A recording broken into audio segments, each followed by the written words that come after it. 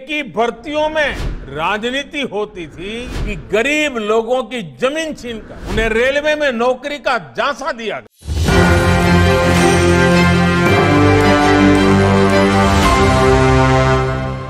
नमस्कार, एक न्यूज़ 24 देख रहे हैं आप। मैं हूँ आपके साथ दिव्या सिंह।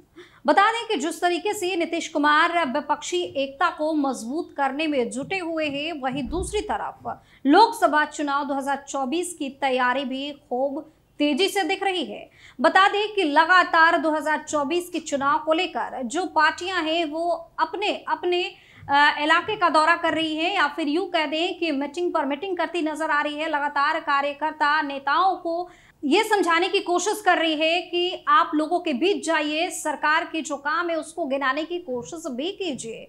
लेकिन इन सब के बीच आपको बता दें कि राजस्थान में पीएम नरेंद्र मोदी ने वंदे भारत एक्सप्रेस को हरी झंडी दिखाई है और इसी दौरान पीएम नरेंद्र मोदी ने बिना नाम लिए नीतीश कुमार पर जमकर निशाना साधा है। सबसे पहले आप पीएम मोदी का ये बयान सुनिए। साथियों हमारा देश का दुर्भाग्य रहा कि रेलवे जैसी महत्वपूर्ण व्यवस्था जो सामान्य मानवी के जीवन का इतना बड़ा हिस्सा है, उसे भी राजनीति का अखाड़ा बना दिया गया था। आज़ादी के बाद भी भारत को एक बड़ा रेलवे नेटवर्क मिला था। लेकिन रेलवे के आधुनिकरण पर हमेशा राजनीतिक स्वार्थ हावी रहा। राजनीतिक स्वार्थ को देखकर तब यह तय किया जाता था कि कौन रेल मंत्री बनेगा, कौन नहीं बनेगा। राजनीतिक स्वार्थ ही तय करता था कि कौन सी ट्रेन किस स्टेशन पर चलेगी। राजनीतिक स्वार्थ ने ही बजट में ऐसी ऐसी ट्रेनों की घोषणा करवाई जो कभी चली ही नहीं। हालत ये थी कि रेलवे की भर्तियों में राजनीति होती थी, बड़े पैमाने पर भ्रष्टाचार होता था।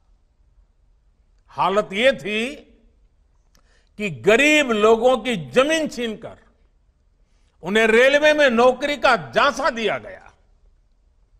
देश में मौजूद हज़ारों मानव रहित क्रॉसिंग को भी अपने ही हाल पर छोड़ दिया गया था। रेलवे की सुरक्षा, रेलवे की स्वच्छता, रेलवे प्लेटफॉर्म की स्वच्छता, सब कुछ नजरअंदाज कर दिया गया था।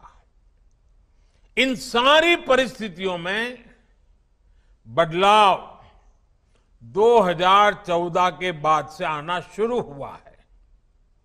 जब देश के लोगों ने स्थिर सरकार बनवाई, जब देश के लोगों ने पूर्ण बहुमत वाली सरकार बनवाई, जब सरकार पर राजनीतिक सौदेबाजी का दबाव हटा तो रेलवे ने भी चेन की सांस ली और नई ऊंचाई पाने के लिए दौड़ पड़ी।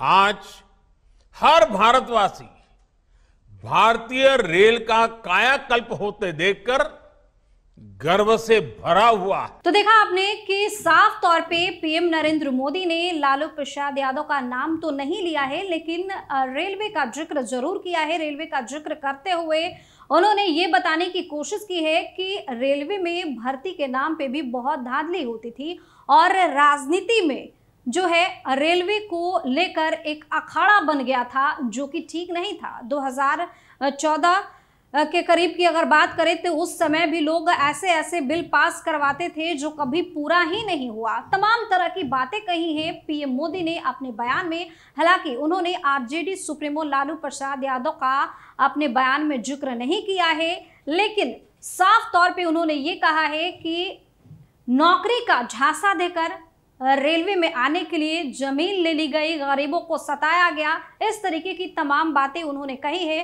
अब कहा जा रहा है कि जो पीएम नरेंद्र मोदी हैं, उन्होंने आरजेडी सुप्रीमो लालू प्रसाद यादव का नाम तो नहीं लिया है लेकिन जमकर उन पर निशाना साधा है, जमकर अपनी भड़ास भी निकाली है। मौका भी था, दस्तूर भी था, इसी बहाने जो पीएम नरेंद्र मोदी हैं, उन्होंने अपनी बात भी रख दी। इस वीडियो में फ़िलहाल करना ही। तमाम अपडेट्स के लिए आप बने रहिए एक न्यूज़ 24 के साथ। अगर आपने अभी तक हमारे चैनल को सब्सक्राइब नहीं किया है तो सब्सक्राइब कर लीजिए। हमारे वीडियो को लाइक कीजिए, शेयर कीजिए, साथ ही हमें कमेंट करके ज़रूर बताइए कि आपको हमारी खबर कैसी लगी।